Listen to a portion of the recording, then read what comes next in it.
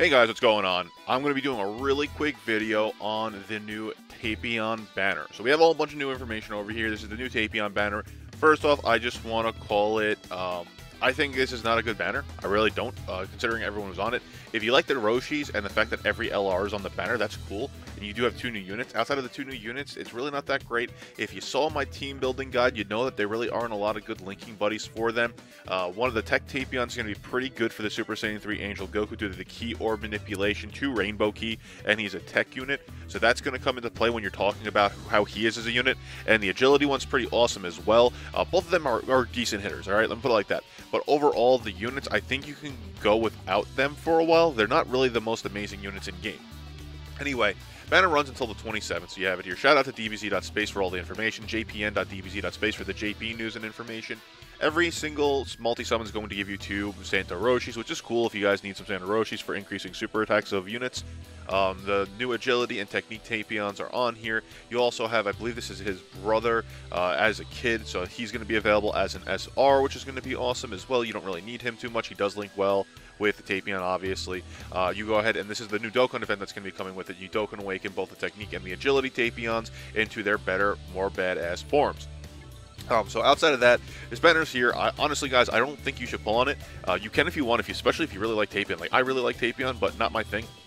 I also used all my stones for all the Super Saiyan 3, so I was pretty happy with that. This is the banner right here. Now, this is why I say it's not that great.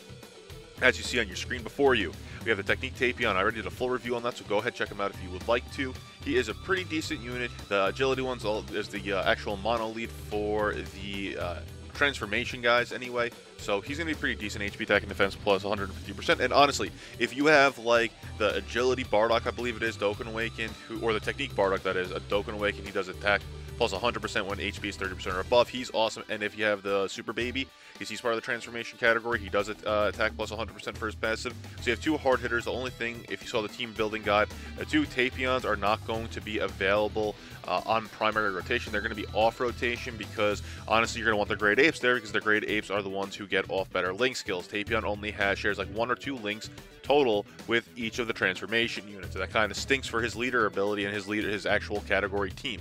I don't think he's worth it. That's why I don't think he's worth it. Honestly, and plus on top of that, I mean, transformations are cool and all, but they're not the hardest hitting units in game.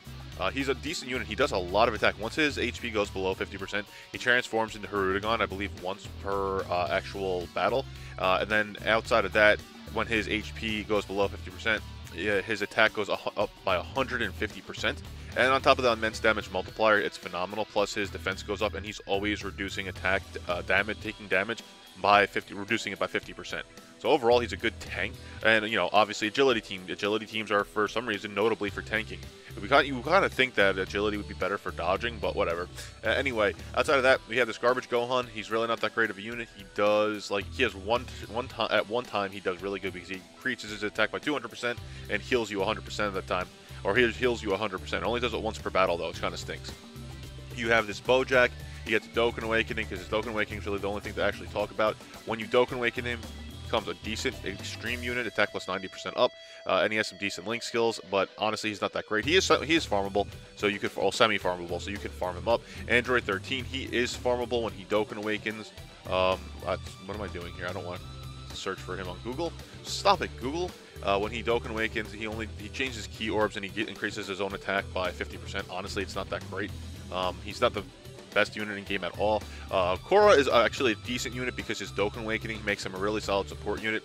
Uh, attack plus 30% and key plus 2 uh, for all members. I believe he does uh, ex extreme types, so the attack plus 30%. Either way, for a mono extreme team, he's really good for a Kid Buu team. So I just Dokkan mine on the global side of Dokkan Battle, so that way my Kid Buu team can have a really good setup. Uh, so if you're looking to do something like that, he's going to be a really good unit for that kind of a team. Uh, outside of that, Android 18, you know me. I've said this a hundred times over, and I'll say it a hundred times again. She stinks. She is a super unit. She is a horrible Android for any team. She has like one linking, one or two linking buddies, and they're always the Androids, and she'll never be on any of their teams. She is just thrown in there because I don't know why. Anyway, she's not a good unit. If you pull her, I'm sorry for you. Anyone who's trying to defend her too, I'm sorry, you're wrong. anyway, Turles is a good unit because he is good support for.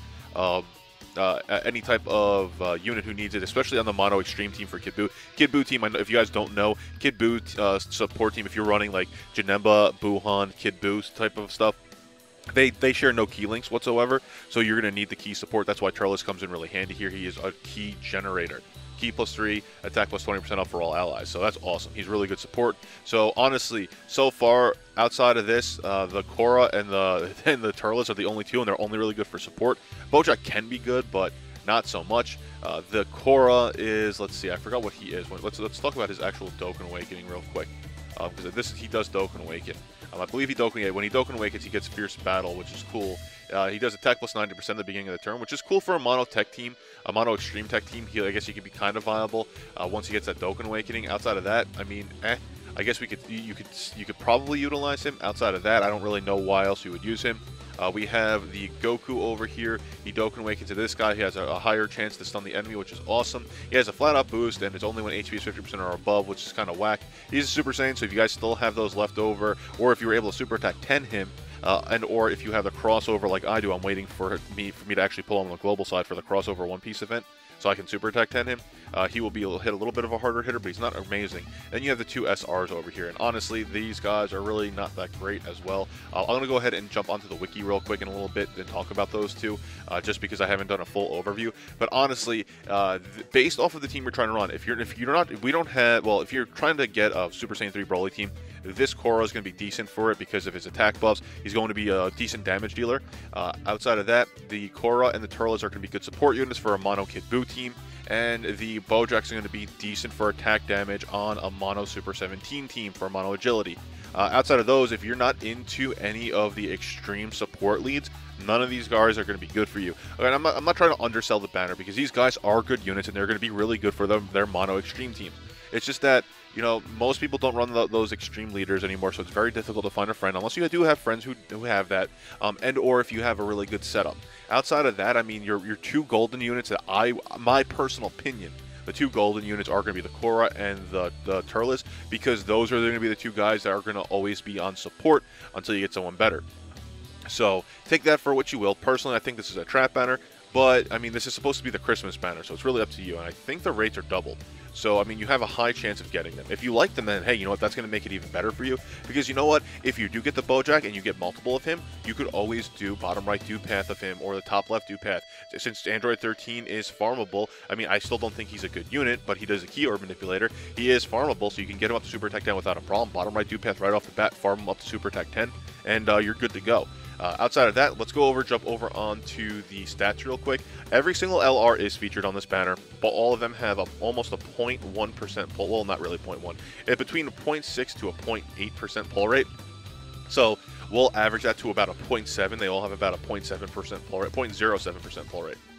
Really kind of stinks, but you have all of the LRs. You have LR Gohan, you have LR Broly, you have LR Trunks, you have LR Majin Vegeta, you have LR uh, Bo, uh, Bo, uh, Goku Black, for all the mono 90% leads. Then you have Mighty Mask and you have Bojack, and then you also have the new Goku, uh, the one that goes Super Saiyan 3. Now, I'm not going to go over him in this video. I'm going to save that for tomorrow's video. So I'm going to do a full overview of him, all of his Dokkan Awakenings, how to get all the medals, and a team building guide all in one video. So if you guys are interested in that, make sure to subscribe so that way you can see that when I release that video tomorrow.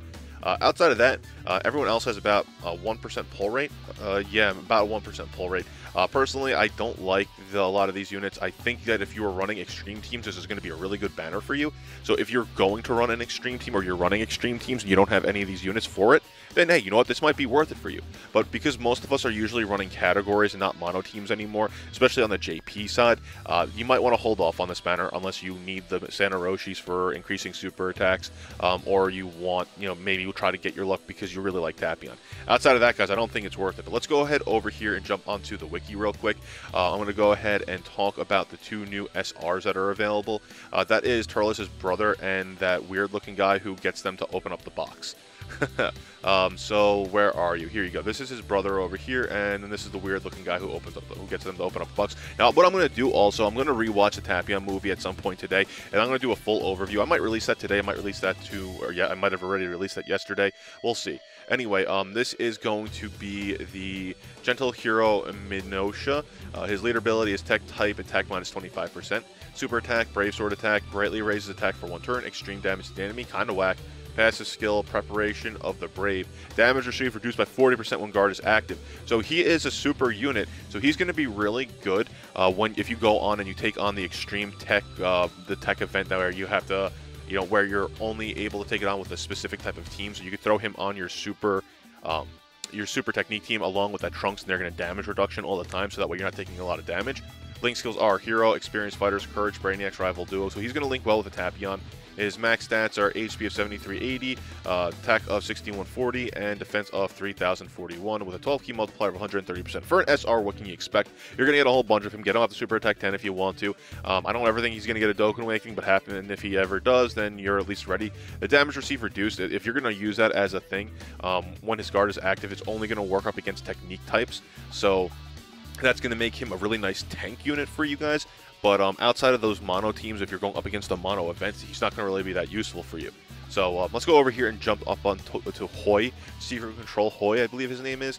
Um, if I'm pronouncing that incorrectly, well, I apologize. Leader ability is agility and strength type, HP and attack plus 30%. So kind of whack leader ability, but he is an SR. He does extreme damage to the enemy, medium chance to stun. So that's actually cool. The fact that he has a medium chance to stun. Uh, Dastardly Magic. Extreme type allies, key plus 2, attack and defense plus 20%. So he's actually, you know, he works himself into a good spot as a support unit um, for extreme type. So, I mean, honestly, guys, if you're looking for extreme units, this looks like it's going to be the banner for extreme units. There's a whole bunch of good extreme units. The only heroes are going to be Tapion, the two Tapions, the Gohan, the Goku, and Tapion's brother. Um, uh, minus the 18, she don't matter. Anyway, um, uh, let's see. Link skills are Brainiacs, Coward, Thirst for Conquest, Flee, and Master of Magic. So, uh, I mean, Master of Magic, I guess. Uh, Thirst for Conquest and Brainiacs. I, guess, I mean, Thirst for Conquest is really the only good uh, uh, Link skill for extreme types. Uh, and that's like limited to like Frieza's clan and maybe a couple others. Brainiac's not so much. Coward, yeah, but it's key plus one, and not everyone has Coward. Uh, yeah, so he kind of has, he's lacking in link skills. His max stats are HP of 7900, attack of 5500, almost 5600, and defense of 3500 with a 12 key multiplier of 130%. You guys will be getting a whole bunch of them. Um, he's actually not a bad support unit for extreme type, so if you want, if you're if you're running a mono extreme Janemba team, uh, he's going to be really cool. I mean, he's just straight out extreme buffs, so there's definitely going to be better units to use. But like on an actual villains team, he might be useful for you. So like if you're running, I mean, yes, there are better units to run for that key support. But if you're running a double merge Zamasu team, he could be beneficial for you because he gives you key plus two, attack and defense plus 20% if you're lacking those types of support units. But uh, overall, guys, I, I can't tell you whether like my personal personal opinion is it's not worth pulling on this banner. But I mean, if your goals are extreme teams, then it might be worth it for you. So, like again, if you're looking to do an extreme agility team and you don't have that Bojack, it might be worth it. If you're looking to do an extreme uh, intelligence team, then this banner might be even more worth it for you because there's two really good units here, and even that intelligence uh, Super 13 is going to be kind of decent for you for support because he does key orb manipulation. Plus, his attack isn't that bad. Attack plus 50% when he's Dokkan Awakened, and he gets himself up to Super Attack 10. So, like, honestly, really, my opinion, Mono Intelligence Extreme Team, this one might be worth it for you. Uh, if you really like Tapion, then definitely pull on it. Outside of that, I don't really think so. Really, honestly, I, I apologize for saying that because I know some of you guys are going to kind of be against it, but I really don't think it's worth it. I think it's a trap banner. But um, if you're saving your stones, if you're a free-to-play player, make sure to save your stones because I'm sure we're going to also get something on Christmas in three more days. So uh, anyway, guys, thank you for joining me here today. Make sure to subscribe if you're new, and I'll catch you all later. Peace.